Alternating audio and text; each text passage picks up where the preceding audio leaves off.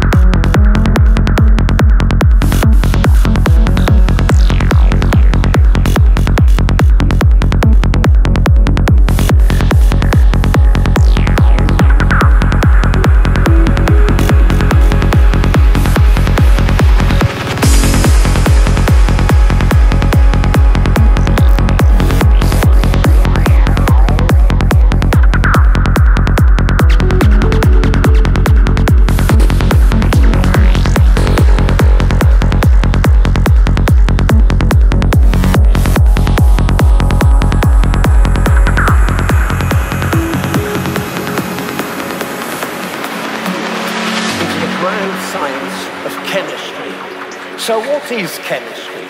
Chemistry is the science of substances and how they turn into different substances. And very frequently, we can recognize a chemical change because there is a change of color. As I pour my chemical water from one flask into another, you'll notice a color change.